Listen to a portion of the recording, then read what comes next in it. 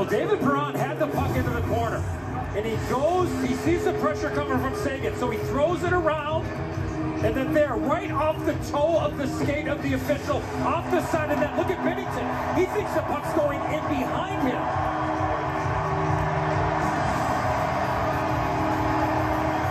Off the skate of Marc Joannette, onto the stick of Mats Zuccarello.